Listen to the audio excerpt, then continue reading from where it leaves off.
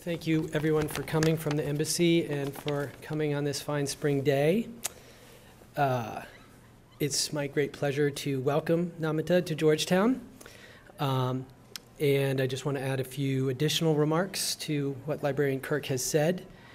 Uh, Before I get into that, though, I just want to help uh, a little bit because it, it's um, better if somebody else says these things. Um, and I think it's true that some of your books, Namita, are available. Is that true out in front or over here for purchase? Some, some of Namita's books are there, as are some pamphlets um, from uh, an initiative that um, Namita is involved with called the um, Indian Literature Abroad. And I think some pamphlets from that are also available there. I also just want to um, uh, thank uh, the South Asia Society and Silky for trying promoting the event today, and um, I'm hoping that uh, we'll get more and more um, South Asia Society involvement in the South Asia activities on campus. Um, so Namita and I actually share some places in common. Um, Jaipur and uh, the uh, northwestern ranges of the Himalayan region, Kumaon and Garhwal. Um, I went to school in both those places. Um, and uh, she and I share fond memories, I think, of both places. Um, so, welcome to a new place that we now share in common, Namita. Um, speaking of places, uh, Namita, uh, in her work, is deeply um, uh, connected um, with places and uses a sense of place in her literature, including, um, in particular, the Himalaya. And that sense of place informs such works as her uh, fictional uh, 1996 book, A Himalayan Love Story, um, in which she evokes uh, with fondness uh, the ambience of a hill town, on the flaneurs and students and others who occupy that town. Um, in uh, some of her narrative nonfiction, um, she also uh, connects with a sense of place, also in the Himalaya, um, in her 1994 book, um, Mountain Echoes. Uh, she captured the voices uh, and mountain spirit of women who inhabited the Kumaoni and other um, areas, but particularly Kumaon, and the difficulties and pleasures um, of their lives in their rugged homes. Um, another place that Namita connects with is Jaipur, and I think we're going to hear some more about that um, and the Jaipur Literary Festival. Um, and she has become a frequent visitor to what I consider my second hometown, uh, northwestern city of, of Jaipur in the state of Rajasthan.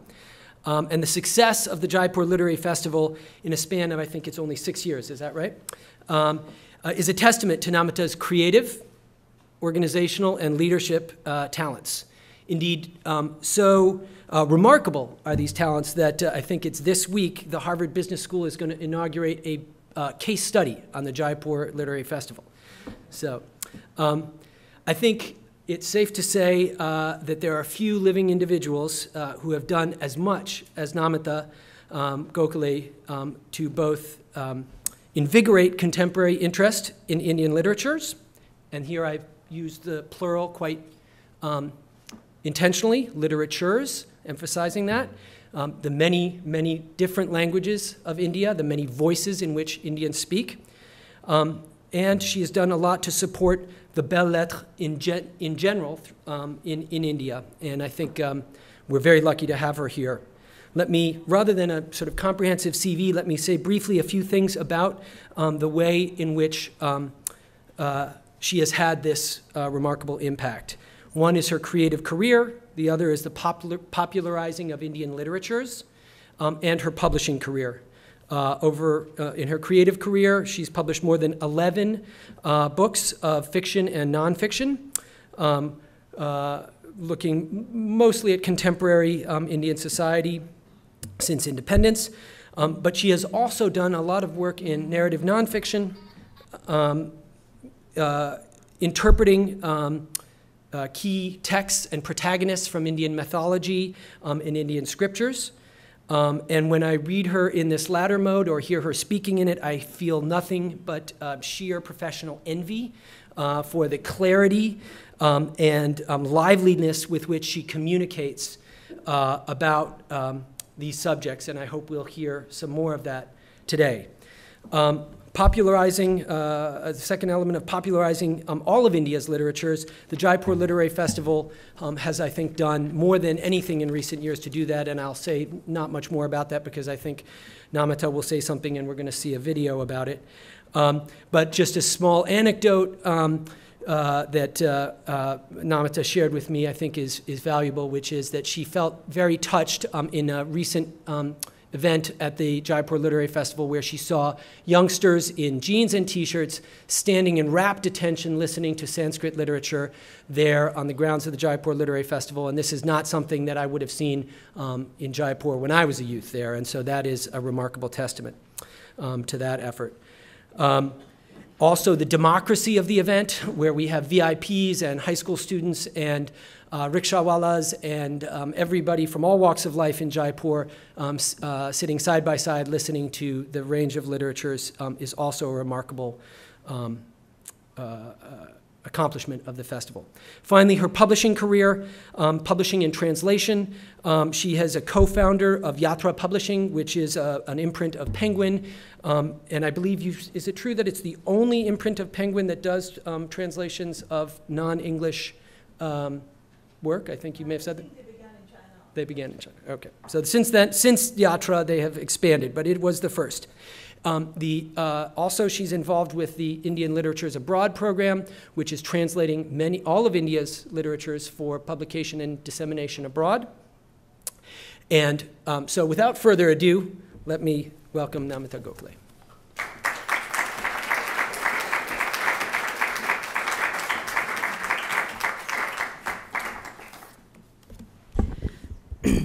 Matthew said such nice things about me that I'm feeling sort of intimidated by this. Um, now, um, I'd be, it's an honor to be here today, and my thanks to the Georgetown University, to Sam, to Matthew, to Philip, to Mina, to so many people, and to all of you here for being here to listen to me, and to the ICCR for facilitating my visit and the thought and care everybody put into this.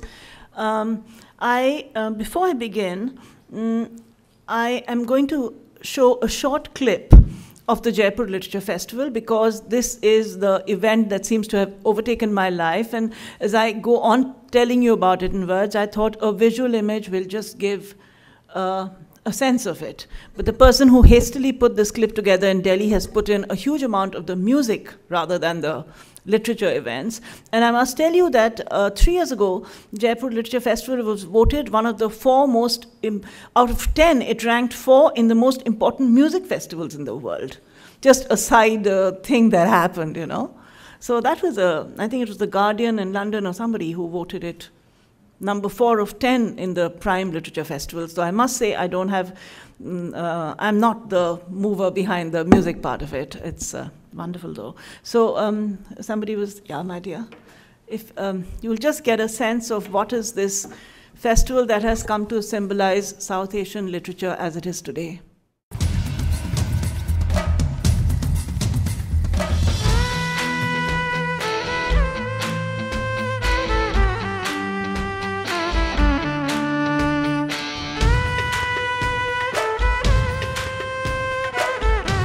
Welcome fifth DSC Jaipur Literature Festival. Literature festivals like this one help us reflect on the changing nature of the words, of the histories they condense. The Sea of Stories, which is Indian literature, is renewed and revived every year. Every year, the world visits Jaipur and Jaipur visits the world.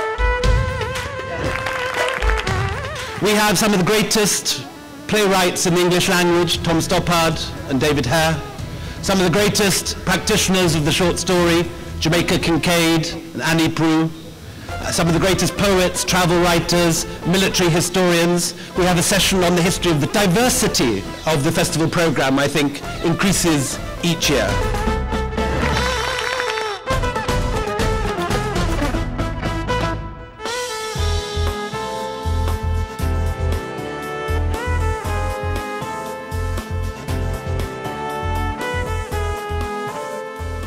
तुम्हारे शहर में कुछ रोज रह लूँ तो अपना गाँव हिंदुस्तान मुझको याद आता है।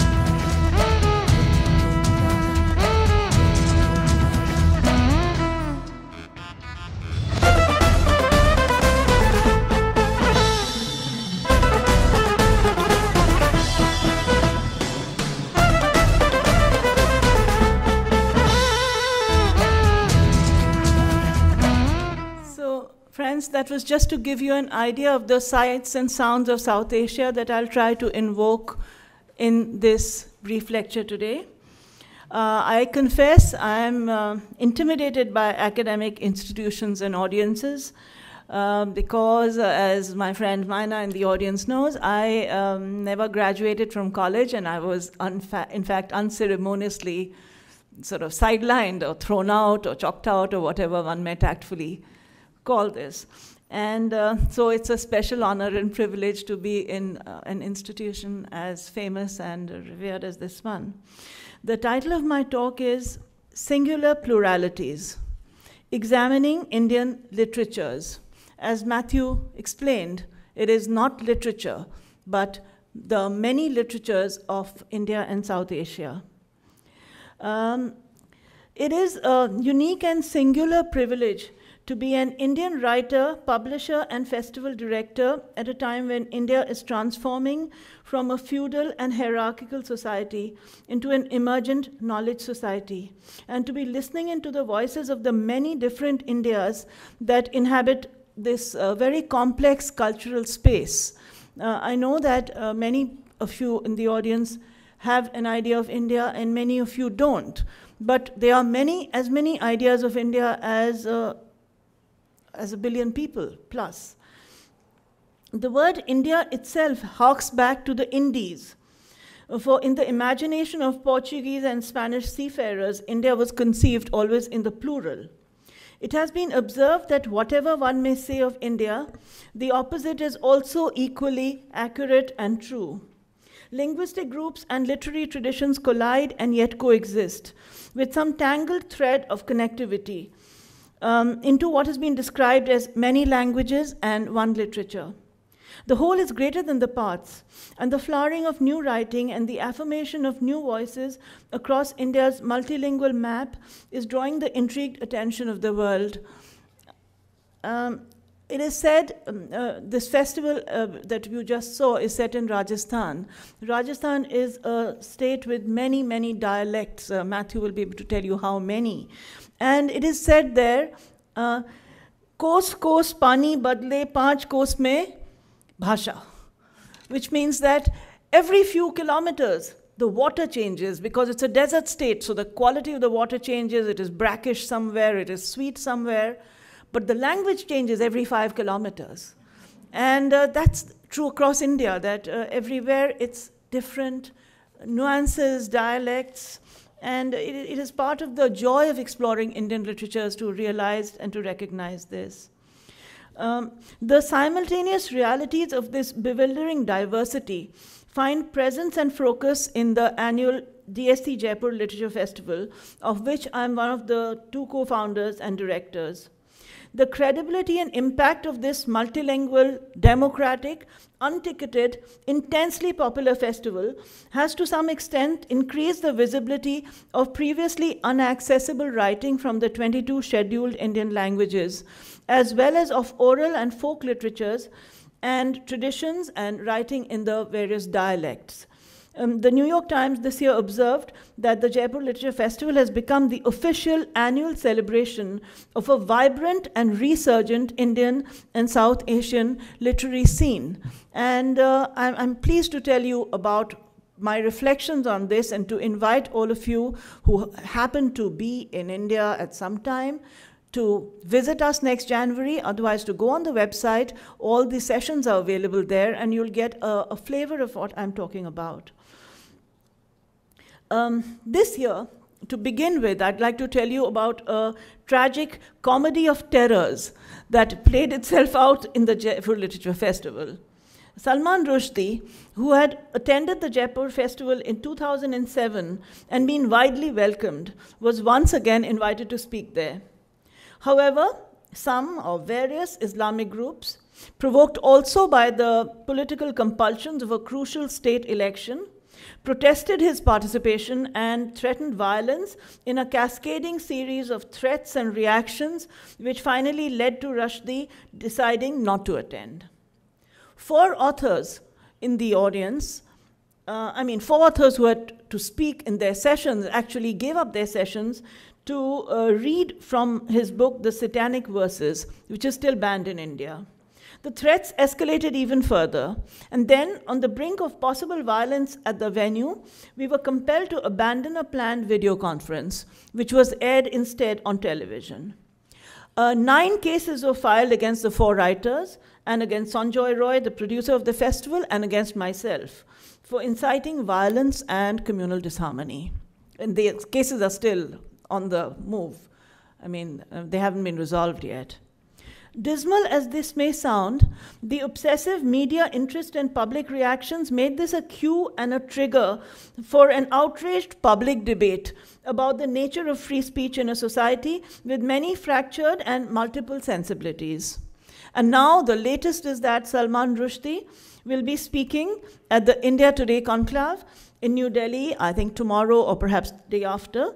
And uh, in an in, this is an entirely normal state of affairs again. He is a person of Indian origin. He is welcome to come to India and should be speaking in India. But mm, except that the abnormal normalities of our parts, uh, the the Pakistani cricket uh, and pop hero turned politician Imran Khan, who was also invited to speak, has protested and said he won't attend if Salman Rushdie attends. And of course, they both live in London, as has been observed, and have a pretty cosmopolitan lifestyle there. But uh, uh, hell, that's uh, the way things are sometimes. Uh, looking back, these events at the Jaipur Literature Festival displayed all the might and the power of words, and also that is brittle, false, and contradictory about their usage. The values of literary culture clashed with the politics of religion. The public sounding of this debate had um, perhaps even greater value than any session at Jaipur might ever have had. So sometimes an absent presence becomes even, I mean, a real debate at many levels of this society, a valuable debate with different points of view uh, getting thrown up and getting aired uh, happened. And this absent presence became a metaphor for many conflicting realities in India, in South Asia, and exposed a hierarchy of competing hypocrisies, if I may say so. Um, I don't want to go on about this, but the threats to Salman Rushdie and the impassioned controversy which followed illumined the fault lines of both anarchy and opportunism that are a marker of the Indian landscape, but also of the greater issues, the mindfulness that goes into these issues, and the uh, level of intelligence and debate that often ensues. And uh, there are also deeper issues of access and visibility, of media silences and marginalization, which need to enter this discourse today to give it perspective, because all of you may have heard, some of you may have heard something about a news bite about Salman Rushdie not coming, but there's much more to it than that in a multicultural and society with multiple sensitivities. So um, I want to look beyond this justified liberal outrage, outrage to search and scrutinize other silenced voices, other silent voices, and to understand how their literary amplification or the lack of it impacts the range, the depth, the quality, and the creative sources of the narratives and the stories that are recording this moment of accelerated change across South Asia. The four writers who read from the banned Rushdie text were certainly not the most provocative or the most subversive writers at the festival this year. Um, because uh, free speech is alive and flourishing in India, and there is a, a, a, tradition of dialogue and debate which sometimes gets derailed, but uh, which has a lot of depth and value to it. There was a session, for example, on prison diaries, where um, there were these powerful and moving memoirs by three Kashmiri writers who had actually been in jail for political imprisonment. There was somebody called Iftikhar Gilani, a lady called Anjum Zamrud Habib, and Sahil Maqbool. And, and they talked about issues that could have been extremely provocative, but the dignity and the gravitas with which they were conducted, I think it was one of the most important sessions in Jaipur, opening up new voices in. Uh, about Kashmir with one of our distinguished editors in India, Siddharth Varadarajan of The Hindu, conducting it. So th that is at one level the, the kind of political and uh, um, lit literary dialogue that does happen in Jaipur. Uh, in the midst of much that is popular and extremely hitting a much uh, more um, entertainment point. Um, then um, there was um, there were Dalit writers. Uh, the Dalit writers in India have suffered a um, degree of marginalization over thousands of years um, because of the caste problems. And these writers, to my delight, have over the last few years taken the Jaipur space as a place where they can speak about the issues they write about in their transformative literature. And in fact, two years ago, um, there was a, there were some of these writers got the world press. They got the imagination of uh, the world press with their uh, very powerful writing. Um, so it becomes a place of public assertion and of introspection about caste oppression, and uh, about other issues like gay literatures, where this year there were Hoshang Merchant, Raj Rao, and Minal Hajratwala. They spoke about India's alternative sexual culture that finds articulation in a new wave of unsparing writing across India. And all these kind of sessions pushed perceptions and expanded the scope of the dialogue beyond uh, established prejudice. And I think this is one of the great values of this festival. Um, now, I'll just try before we go back to the festival I won't be talking about my own writing at all today, so I'm so grateful that Matthew told you that in the middle of all this chaos, I do sometimes try to sit back and write my own books.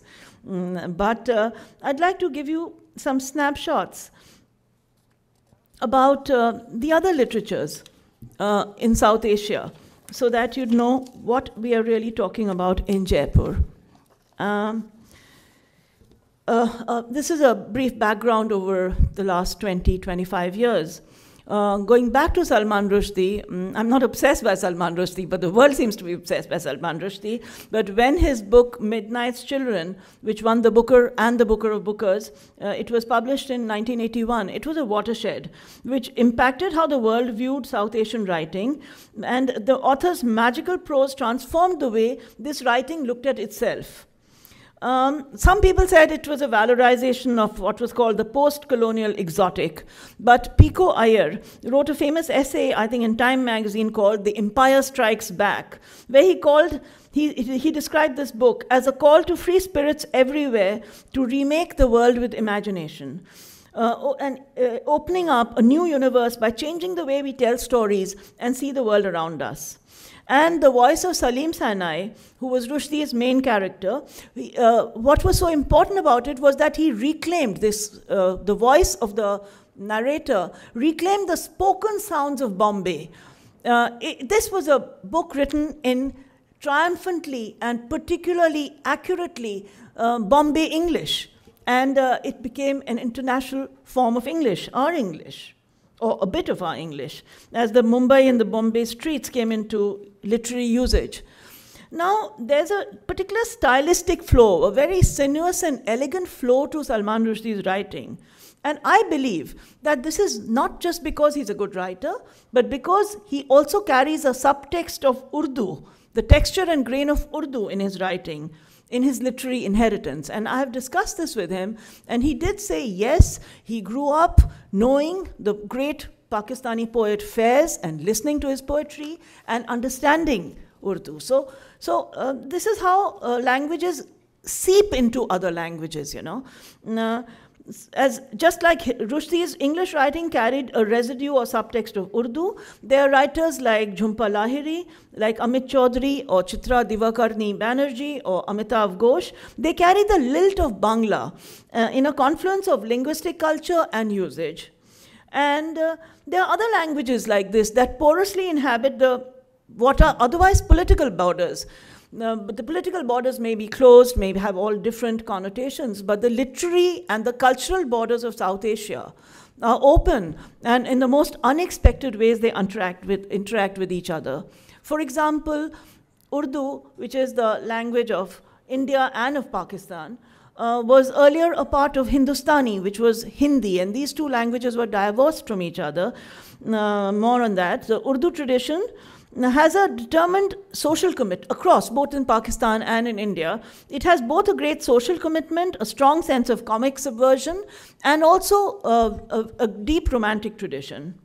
Uh, in pre-partition Urdu uh, was a secular and agnostic language before it became the official language of Pakistan. And it was capable of both brutal irony and, as I said, the highest romanticism. Um, but sadly, the syncretic linguistic tradition of Urdu and Hindustani got divorced after the uh, partition of India.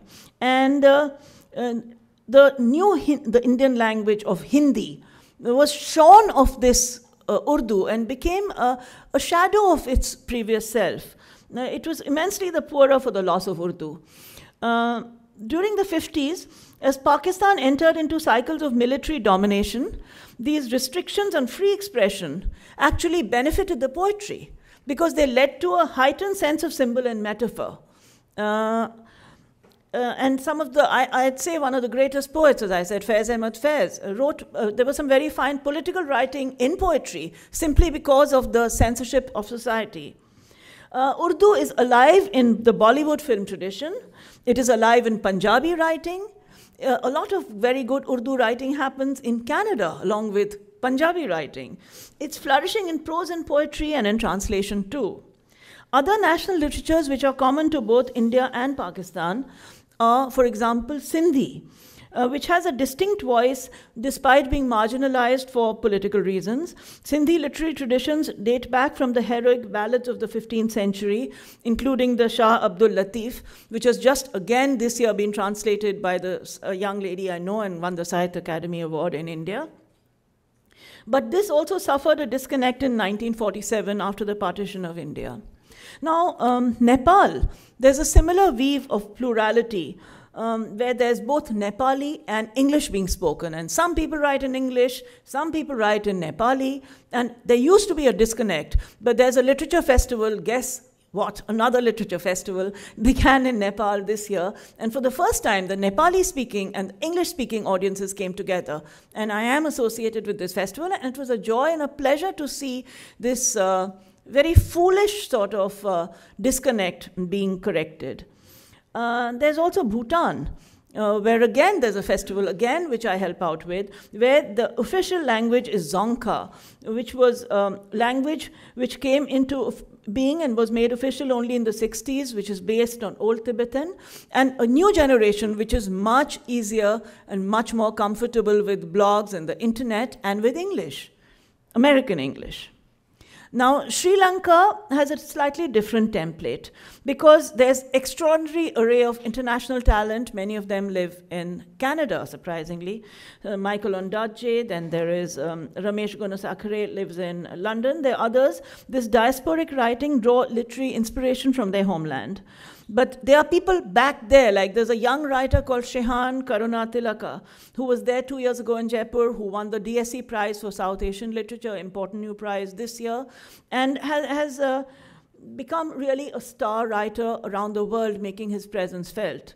Mm, there, but there are also Pali, Sinhala, and Tamil literatures, which are deeply conflicted in a racial struggle, in a linguistic struggle, in a political struggle and uh, they've yet to find common ground in mediation. And Tamil, of course, is also an Indian language, one of the most prolific in literary and classical languages in India. So I'm just trying to give you an idea of the borders and the languages that inhabit South Asia, not just India. Bangladesh and India and their diaspora uh, continue to um, be in love with the Bangla language, which is both radical and mellifluous together. They are, they are legendary poets and writers Mm, and this is the centenary, centenary year of Rabindranath Tagore, who won the Nobel Prize, centenary of his Nobel. He got it, I think, in uh, 100 years ago in um, 13. Or, and um, um, there, there, there is again Bangla writing, both sides of the border, and English writing across the world. But the English carries the Bangla, the Bangla carries the English. So now for, with this sort of short um, map of the region, I want to come to India, that paradox of paradoxes, where these similar patterns of linguistic unity and diversity show up, but on a completely different scale. I mean, with a billion and a half people, um, it's, well, you, the ambassador is looking billion. I'm bad with statistics, so with lots of people, let's say. And in a country with 22 official languages, official national languages, 122 regional languages, four classical languages, 1,726 mother tongues in the last census, and countless, countless dialects. This diverse and polyphonic expression of literary identity in modern day India is both daunting and inspiring. I mean, you can give up or you can try to listen in and to honor this, uh, this huge and persisting um, um, plurality. Um, although colonization and the imposition of English stifled the vitality and outreach um, of many Indian languages. I feel today, after decades of suppression, uh, the Indian languages are returning to their own tongues with new creativity and with new expression. The, the Bhasha language clusters in India are distinctive, yet they share a common heritage and core identity. They are grassroots writers in the many languages of India with both a contemporary voice and an enduring connection with classical traditions. You have Hindi, Bangla, Tamil, Malayalam, Kannada, Marathi, Odia, Assamia, Punjabi, Gujarati, Bhojpuri, Urdu, and even Sanskrit, which is uh, uh, people are reading, writing, reacting, radio channels in Sanskrit, people are learning Sanskrit anew on the internet. Uh, many of these languages, Tamil, Kannada, and one more is um, uh, classical language. Short fiction, poetry, experimental writing are flourishing, literary criticism is happening through small little magazines across India, a small town, a larger town, groups of people with very little money, very little resources, but with a huge passion, keep alive these languages and these literatures with their individual efforts. And uh, we had a session on these people this year. Also, English is an official Indian language. And it's the language, um, from first language for writers from the Northeast. There are writers like Mamang Dai, Temsula Ao, who write in English as their first language and write brilliantly. And I would love for some of these Northeast writers to come and speak here sometime. Um, now, the novel is not a homegrown literary form. Uh, to South Asia. The first Indian novel, Indulekha, was written by Chandu Menon in Malayalam in 1889. But after that, uh, the, the, novel form has really taken root in all the languages. There are great novelists like Srilal Shukla, young Uday Prakash, Alka Saraogi in Hindi, the revered Mahashweta Devi and Sunil Gangopadhyay in Bangla, Ambai, Shivashankari, uh, Shivashankari and Ashok Mitran in Tamil, U.R. Ananthamurthy in Kannada, and M.T. Vasudevan Nair in Malayalam are just some of these great and beloved names across India. The two great uh, epics of India, the Ramayana and the Mahabharata, inform both the classical and um, folk traditions, the Desi and the Margi. And um, as U.R. Ananthamurthy, one of my, the writers I most respect, has noted, there are two languages which are understood all over India. These are the Ramayana and the Mahabharata. Because anybody can relate to any of the characters from these epics and make sense to anybody. So, and, and this is uh, connect over thousands of years, so it's, it's, it's got deep roots. Now, mythology is a constant on Indian bestseller lit, lists because the reinterpretation of enduring epics within different languages and genres is often surprising to Western minds. Now, who categorize myth as a static area of study. But our gods are alive in India. And mythology is not an academic subject alone, but a subject of vital and immediate relevance to sociology, to politics, and uh, to to so many other uh, disciplines, economics. the interaction between the ancient heroic stories and contemporary writing informs a lot of film, television, theater, essays, plays, all these things. And uh, there are best-selling books like um, Chitra Divakaruni Banerjee, who lives in America, wrote a book called The Palace of Illusions, again going back to the epic, and which was a bestseller in India. And uh, I also work, worked on a book called In Search of Sita, which reinterpreted some myths, and, and it, it found huge resonance. Now, I want to go to the Adivasi societies, the marginalized societies, the societies that are often mistakenly described across India as illiterate. And, uh, you know, it's no paradox to realize that so-called illiterate societies have sometimes 2,000 years of continuous literary tradition, which has passed down generation to generation uh, as oral literatures, and which has been cherished uh, in memory and added to and grown. And these uh, repositories, these repertoires of oral literatures transmitted through generations um, by fragile and endangered cultures, they, this continuity of intangible literature, folk song, woven narratives, textiles, embroideries, um, timeless ballads, folk epics, these are the most endangered in India, and we try to showcase them in Jaipur because they are forgotten, they are appropriated, they are gone into the mainstream imagination, but in that process, they get distorted, they lose their fluidity, they get embalmed through academic archiving, and there's no easy answers what's to do with these stories that the human race has carried because they have value from generation to generation. For example, I have a friend who is from Sariska. His name is Gafruddin Mewati. He is a Muslim guy who has um, he carries uh, the tradition of almost 14 generations of telling the Mahabharata, the Indian Hindu epic, in a secular way, as a story, as a blood and gore story.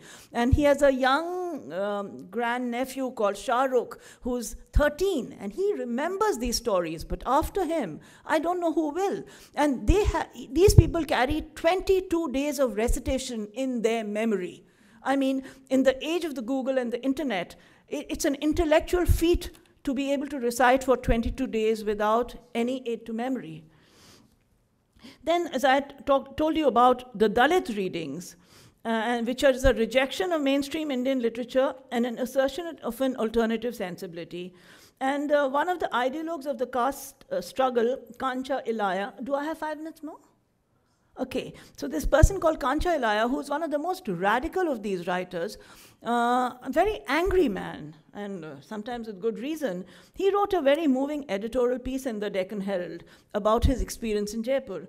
He said, Literary festivals teach us how to connect oneself to social mass culture if one is doing transformative reading.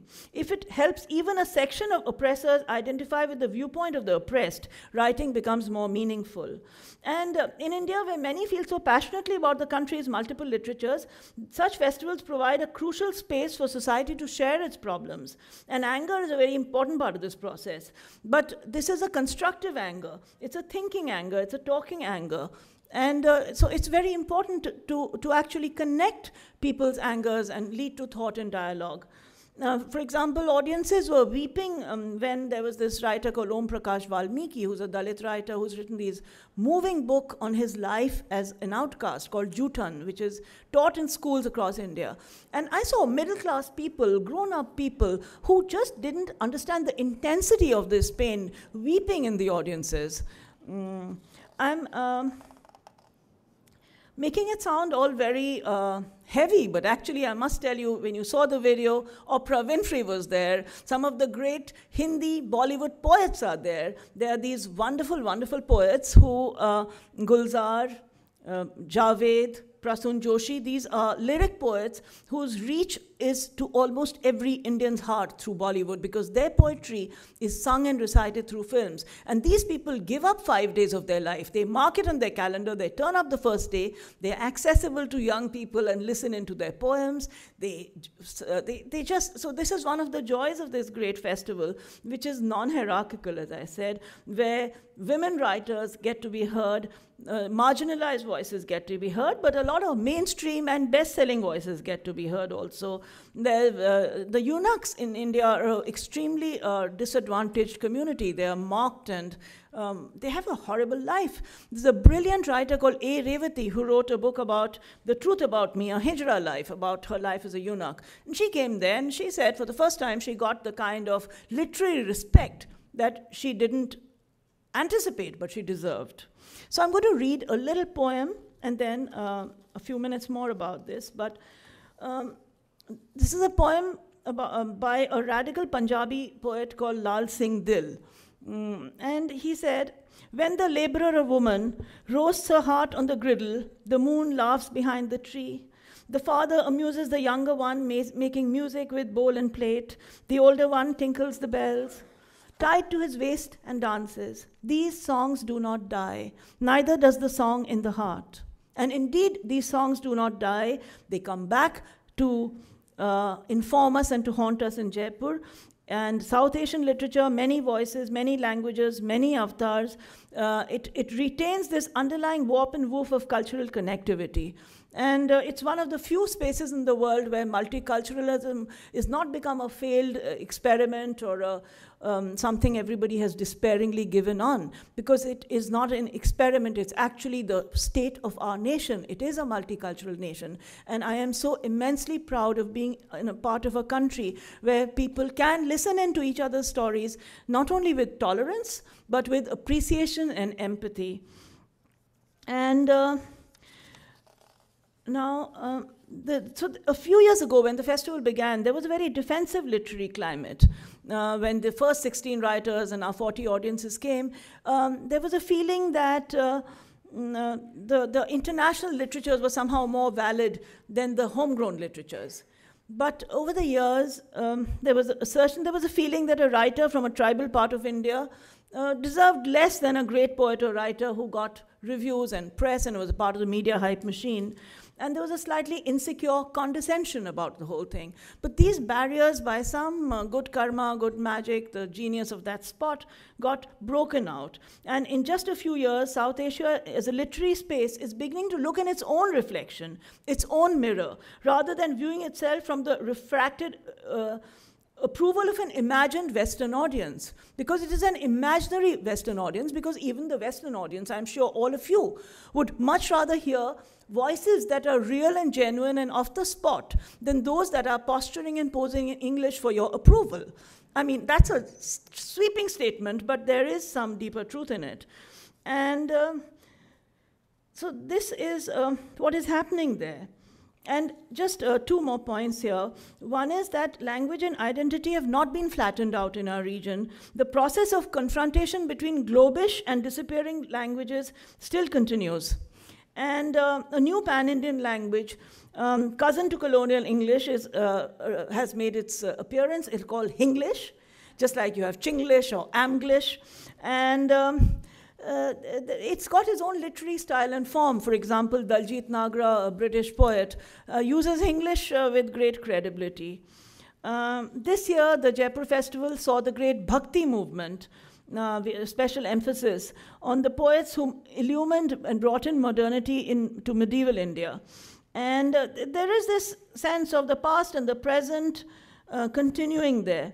however, the like democracy, you see, the whole India lives in a state of translation between these languages. And what we seek to do in Jaipur and in other places is to bring some equity into this process of translation. And there should be no dominant bias between two languages, and the cultural cues and subtexts within different works has to be projected uh, effectively. Then you can understand what each other people are saying to each other. Mm English is a bit of a mixed blessing here because uh, we need English as a source language or a link language here. I'm presently working on a project called Indian Literature Abroad that seeks to translate from 22 Indian languages into the six UNESCO languages. And uh, so uh, there are catalogs here. Through them, you could get a glimpse of the stories of our many literatures and their singular pluralities. Mm, um, again, to go back to um, my dear friend you U.R. Ananthamurthy, um, he's, um, he's 80 now, and he, he is possibly uh, one of our greatest living writers, along with Mahashweta Devi in Bangla. He says, I cannot live in only one language. I live in English, I live in Kannada, I live in Sanskrit, I live in English, I live in so many translations. Um, then there was A.K. Ramanujan, who was a great uh, scholar and uh, uh, who wrote out of his time in America. And he wrote, by a curious perversity, I read Tamil in the Kannad area, Kannad in the Tamil area, studied and taught English in India, and India and Indian languages in the US. And he wrote a fictional autobiography where the protagonist, an Indian with an American wife teaching history in an Iowa college, recollects his childhood. And he says, In my early years, I spoke Madras Tamil to Amma, switched to Mysore Tamil with the Iyengar housemaids, Outside the house, I spoke Kannada with friends. Upstairs in his office, Appa conversed in English. Thus, upstairs, downstairs, inside out, I grew accustomed to three or four languages.